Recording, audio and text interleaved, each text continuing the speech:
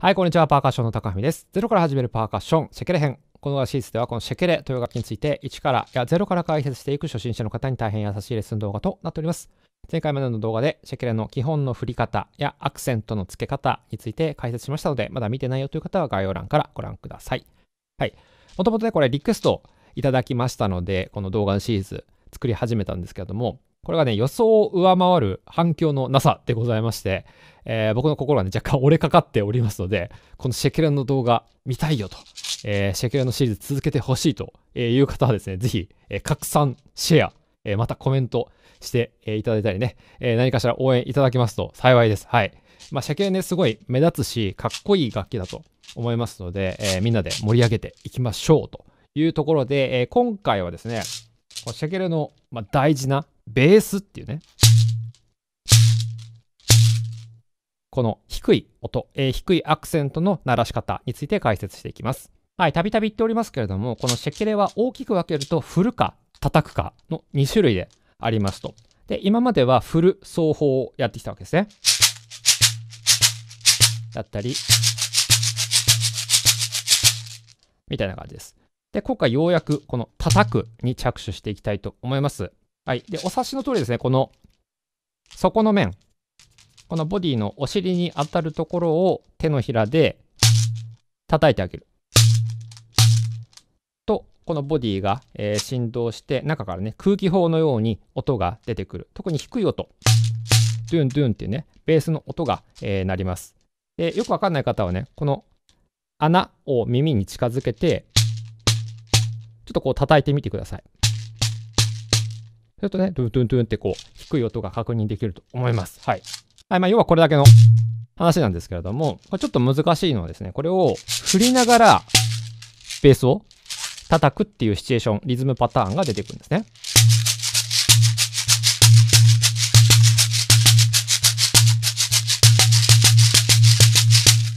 はい。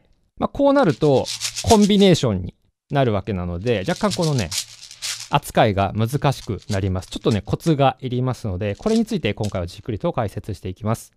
はい、ではまずベースの鳴らし方を確認していきます。えー、どう叩いていただいてもいいんですけれども、まず一番最初にやった方がいいのはですね、なるべく楽に鳴らすというやり方を覚えるといいかなと思います。はい。じゃあどうやるかっていうとですね、楽にこうシェケレを構えていただいて、このままこのお尻側の手をスッと落とします。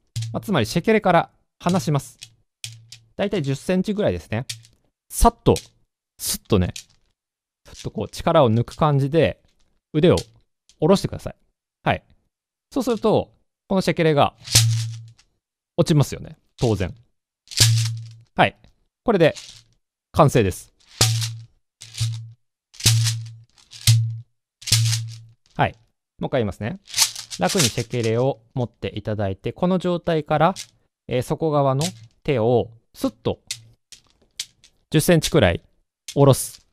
スッと、ふっとこうね、力を抜く感じで、ふっと落とすと、これシェケレが当然、この支えてた手がなくなりますから、落っこってくるわけですね。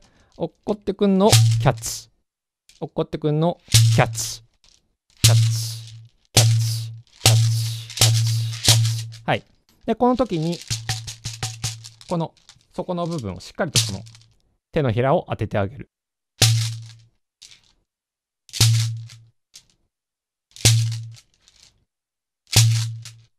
はい、叩くっていうね、イメージだと、ついついこうバシッと、こう平手打ちしたくなるところなんですけれども、もちろんね、こうやって、あの、強い音を出してもいいんですけれども、まずこうするよりも、ふっと、はーっつってこう、腕の力を抜くだけで、実は十分な、え、音量とベース音が鳴らせますので、これを、え、できるようになるととても後が楽なので、ぜひ習得してください。まあ、要は何も力を入れない、脱力するだけで、このシェケレ本体の重さが重力にこう引っ張られて落っこってくる。で、落っこってきたところをこの手のひらでキャッチしてあげれば、もうそれだけでいいっていう話です。構えて、落とす。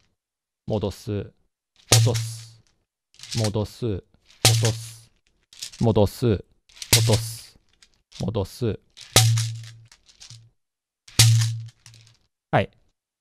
この反対の手はちなみにもう添えているだけです。軽く添えて支えてあげてるだけ。で特にこう押し返したりとか翻したり、えー、力を加えてはおりません。まあ勢いつけたければこっちでこうちょっと押してあげてもいいんですけども、まあそんなことしなくてもね、自然にこう、ふってこっちの手を抜くだけで、もう十分音出ますね。はい。で、ここがですね、このシェケレのシリーズの動画で一番重要なことなんですけれども、えー、このシェケレ結構質量があります。重いですから、これをね、落っことしてキャッチするっていうのを、こう、硬い状態でしっかりとこう、手首で受け止めてしまうと、ものすごいね、衝撃が強すぎるですね。これね、怪我をする可能性、腱鞘炎だったり、故障するリスクが非常に高いです。はい。十分気をつけてやっていただきたい。じゃあどうすればいいかっていうと、まあ、こう、ふっとね、楽に腕を落として落っことすんですけども、それをこう、ちょっとこう、赤ん坊が、まあ、降ってくるっていうか、赤ん坊降ってくることないかもしれないんだけれども、ちょっとこう、クッションのように、優しくキャッチする感じで落としてほしいんですね。はい。で、この塩梅を伝えるの動画だとめちゃくちゃ難しいんですけれども、えー、何かこうやっていて手が痛いとか、手首がなんか痛いとかね、シェケレを練習した次の日になんか剣が痛いとか、えー、痛さを感じる場合は、それちょっと強く当てすぎ、または手が硬い状態でこの落下のエネルギーを受け止めてしまっている可能性が高い。えー、そしてそれは怪我につながるリスクが非常に高いので、えー、それはやめてください。はい。で、限りなく、えー、自分の感覚で楽に、そして痛さを感じないように、うまくですね、こう、この手をしなやかに、クッションのようにスッと、ちょっとスローでやりますけれども、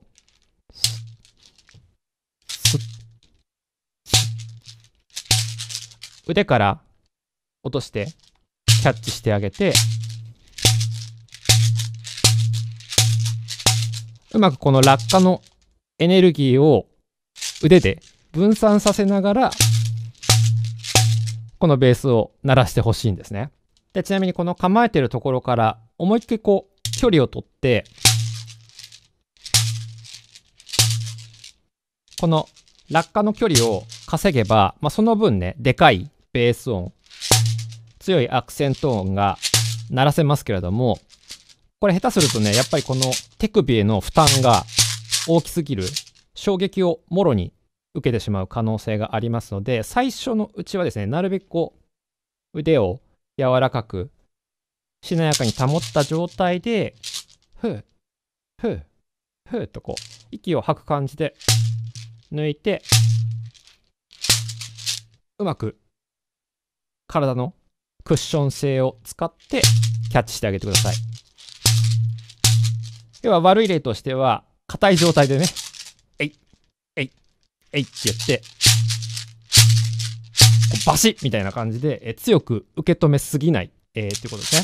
適度にしなやかに柔らかくした状態でスッと、ふう、ふう、ふうと、えー、この感覚、できるだけ自分の、えー、使う力を最小限にした状態で、まあ、最大の、えー、効果を得るようにやってみてください。はい、ではしばらくですね、このシェケレを落とす、戻す、落とす、戻すっていうのを交互に繰り返しでやってみたいと思います。ぜひ見ながらやってみてください。いきますよ。せーの。落とす。戻す。落とす。戻す。落とすときちょっと息を吐きましょう。はぁ。うん。はぁ。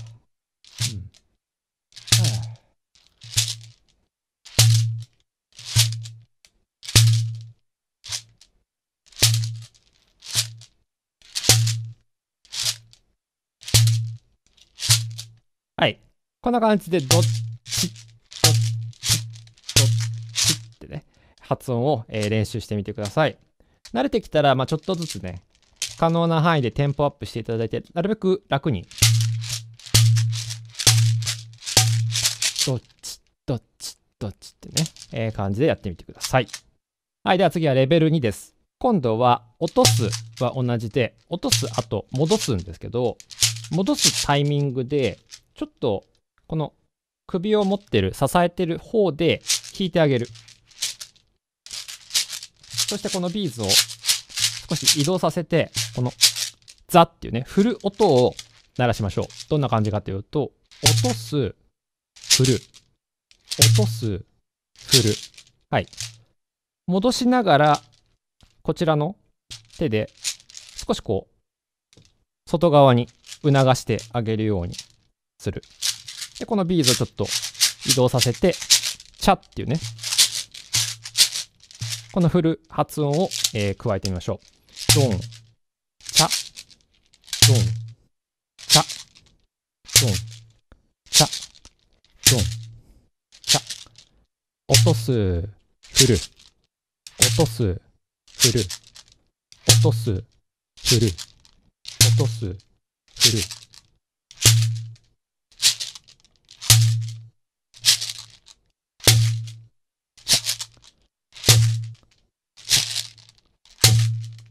はい。腕の動きとしては、まず楽に構えた状態からスタートで、ここからベースを鳴らす方の手をスッと落とす。はい。これが落とすですね。で、これでベースが鳴る。で、戻すと同時に、今度反対の手で外側に少し促してあげる。はい。手の動きとしては、落とす、振る、落とす、振る、落とす、はいこういうモーションになります。ド、ツ、ド、ツ、ド、ツ、ド、ツ。はい。この動きで赤霊を持つと、